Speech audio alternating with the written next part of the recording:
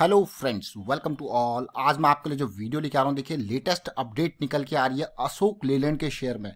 और अशोक लेलैंड का शेयर, जैसा कि आप जानते हो, बहुत ही ज़बरदस्त शेयर वैल्यू शेयर है।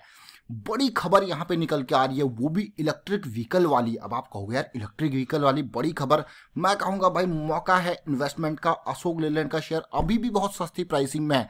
इस शेयर में कोई भी गड़बड़ नहीं हुई थी। कोई फंडामेंटल्स इसके रॉन्ग नहीं है। लेकिन जब भाई ऑटो सेक्टर पूरा ही डाउन था तो इस शेयर में भी गिरावट आई और इस गिरावट के चलते काफ़ी सस्ती प्राइसिंग पे मिलने लग गया था।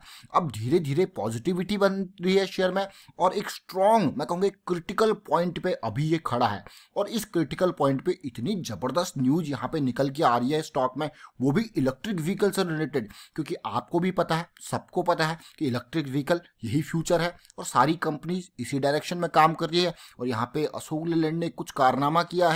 कोई बड़ी पार्टनरशिप करी है, देखते हैं उसको डिटेल में। साथ में टेक्निकल फंडामेंटल भी देखते हैं छोटे से वीडियो में और आगे बढ़ने से पहले। मैं आपको बता दूँ, अगर आपने अब तक चैनल को सब्सक्राइब नहीं किया तो जल्दी से सब्सक्राइब कर लीजिए। क्यों सब्सक्राइब करना है? क्योंकि यहाँ पे आपको मिलती है बेहतरीन इन्फॉर्मेशन क्वार्टर थ्री के रिजल्ट्स फंडामेंटल के साथ साथ टेक्निकल डिटेल सारी यहाँ पे बताई जाती है और आपको ऑब्जर्वेशन के बारे में बताया जाता है कैसे आप ऑब्ज़र्व करें स्टॉक को टेक्निकली तो भाई, इसीलिए सब्सक्राइब कर लीजिए जल्दी। बिल्कुल मुफ़्त जानकारी दी जाती है यहाँ पे।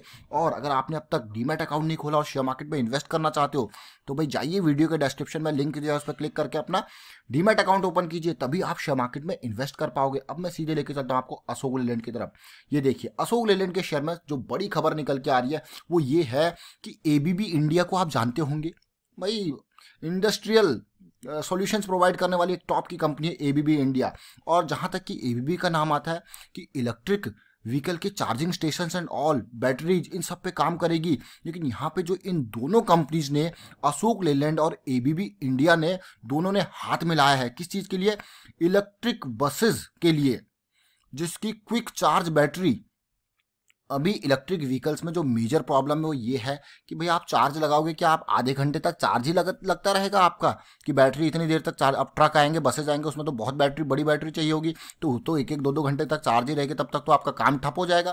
क्योंकि आज की डेट में तो दस मिनट पाँच मिनट लगते हैं पेट्रोल डीजल भरवाने में चल देते हैं। तो ये एक मेजर कंसर्न है।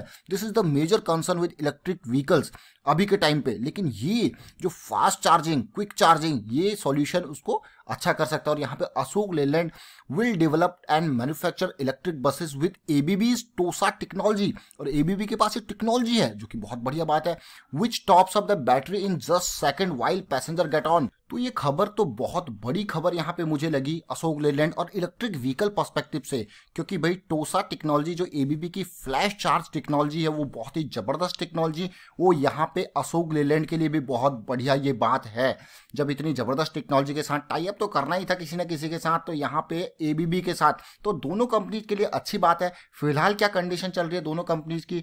मुझे लगता है कि भाई यहाँ पे अशोक लेलैंड की जो प्राइसिंग है, काफ़ी सस्ते में मिल रहा है और एबीबी ने जो क्लेम किया है कि जो टोसा फास्ट चार्जिंग है, वो बहुत ज़बरदस्त यहाँ पे कार्बन डाइऑक्साइड बचाएगा और बहुत जल्दी चार्ज करेगा चीज़ों को। बहुत ही बेहतरीन भाई। It also offers operating cost saving of thirty percent compare to an equivalent digital transit system बहुत बेहतरीन। अब ये देखिए, अब आगे बढ़ते हैं, थोड़ा सा और जानते हैं किस चीज़ के बारे में। ये तो आपने देख लिया, क्या डील साइन हुआ क्या पार्टनरशिप यहाँ पे हुई है एबीबी और अशोक लेलैंड की इलेक्ट्रिक बसेस इंडिया के अंदर। क्योंकि भाई सेंट्रल गवर्नमेंट की तरफ़ से पुश है, ज़ोर है कि आपको इलेक्ट्रिक में कन्वर्ट होना ही होना जल्दी है। तो यहाँ पे साइन तो कर दिया है मेमोरेंडम दोनों कंपनीज़ ने आपस में।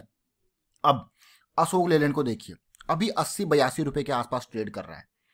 चौबीस हज़ार करोड़ का मार्केट कैपिटलाइजेशन है। सत्रह का पी रेशियो है, बहुत ही बेहतरीन। काफ़ी सस्ते में मैं कहूँगा अभी मिल रहा है। जरा पी जी रेशियो देखिए, कितना बढ़िया है। प्रॉफिट ग्रोथ सेल्स ग्रोथ पिछले कुछ टाइम में गिरावट ज़रूर आई है। यहाँ पे और कुछ शेयर्स जो हैं गिरवी रखे हुए हैं, लेकिन यहाँ पे घबराने वाली कोई बात नहीं कुछ शेयर्स गिरवी रखे हुए हैं।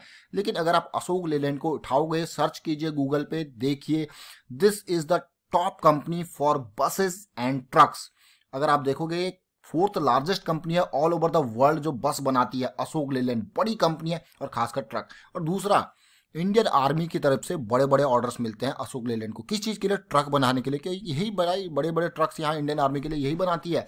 बहुत ही बढ़िया। उसके अलावा ये the company also manufacture engine for industrial and marine application बहुत ही बढ़िया बात है अशोक लेलैंड नाम है। काम है। अब एबीबी इंडिया को देखिए। अब यहाँ पे दोनों शेयर की तरफ़ मूव कीजिए आप।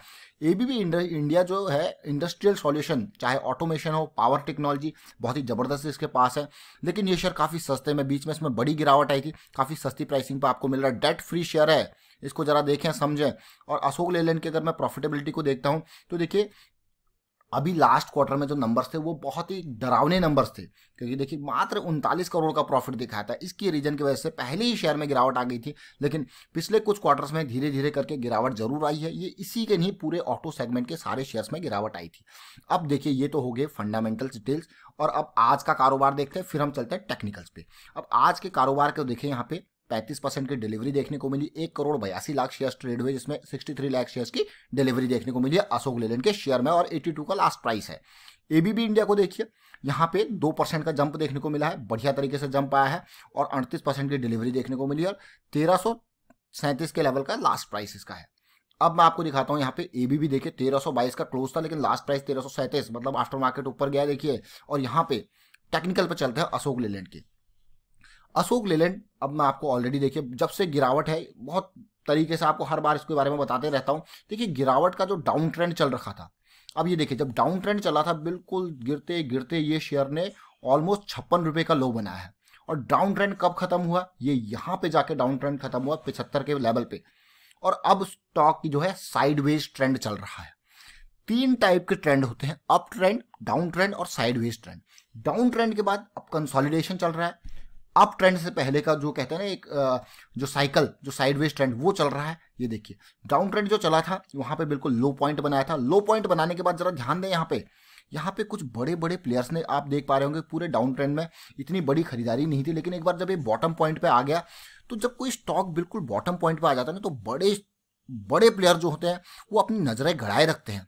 वो ऐसे टाइम पे खरीदते हैं बिल्कुल निचले लेवल पे। जैसा कि आप यहाँ पे देख पा रहे हो ये डबल बॉटम पैटर्न ज़रूर बना है।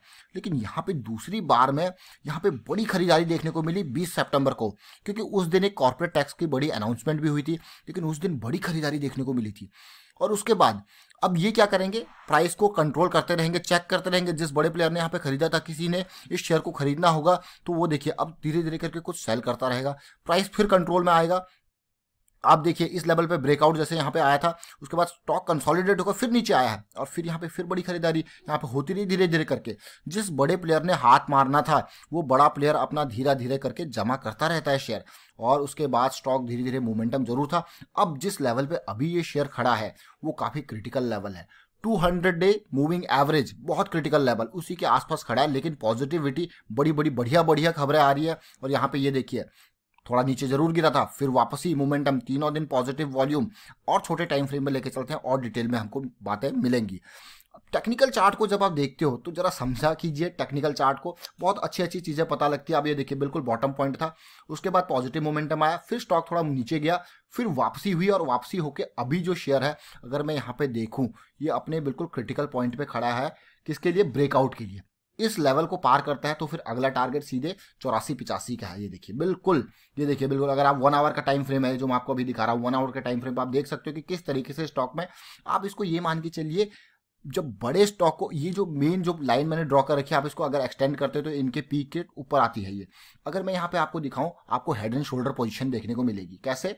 ये देखिए, ये हो गया आपका हेड ये पहला इधर शोल्डर ये इधर का इधर शोल्डर देखिए बिल्कुल। आपको दिख रहा होगा head and shoulder position kind of क्योंकि यहाँ पे एक पीक भी ज़रूर बनाया इसने, लेकिन head and shoulder position kind of बन रही होगी ये वाली। तो ये वाला पॉइंट काफ़ी क्रिटिकल है। और इसमें एक लास्ट के आवर में एक बड़ा वॉल्यूम भी देखने को मिल रहा है। अच्छी बात है भाई स्टॉक तो पॉजिटिव ज़रूर जा रहा है लेकिन एबीबी इंडिया के शेयर को देखिए यहाँ पे एक बीच में बड़ी गिरावट आई थी एक न्यूज़ आई थी उसके चक्कर में बड़ी गिरावट आई थी और शेयर ने 1200 के लेवल का लो बनाया। वहाँ से पॉजिटिविटी देखने को मिल रही है और एबीबी इंडिया इतने निचले लेवल पे जिस तरीके से आ, मिल रहा है वो बहुत ही बढ़िया बात। लेकिन यहाँ पे मैं कहूँगा एबीबी इंडिया में अभी इसको एक स्ट्रॉन्ग स्ट्रॉन्ग रेजिस्टेंस मिलेगा इस लेवल पे। कितना 1350 से 1340 की इस रेंज में एक स्ट्रॉन्ग रेजिस्टेंस मिलेगा।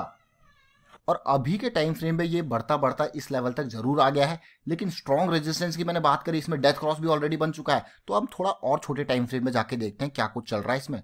और छोटे टाइम फ्रेम में अगर आप जाओगे तो देखिए स्टॉक में अगर आप टेक्निकल लेवल पे पैटर्न्स ढूंढते हो पैटर्न ढूंढते हो तो आप पैटर्न्स को ऐसा मत सोचिए कि इसमें ये वाला पैटर्न बन रहा होगा। आप देखिए चार्ट को आप चार्ट को देखेंगे, आपको पैटर्न अपने आप नज़र आते रहेंगे। ऐसा नहीं कि आपको इस टाइप का पैटर्न ढूंढना है तो आपको कोई ना कोई पैटर्न खुद बना लोगे आप, अगर आपको इस तरीके से देखोगे। तो यहाँ पे देखिए किस तरीके से सॉसर काइंड ऑफ़ पैटर्न दिख रहा है। अगर आप इसको और छोटे में जाओगे, आप देखिए क्लियरली कंसोलिडेशन के बाद एक पॉजिटिव मोमेंटम ज़रूर देखने को मिल रहा है। ऊपर से ये अशोक लेलैंड के साथ डील, और भी बढ़िया बात है।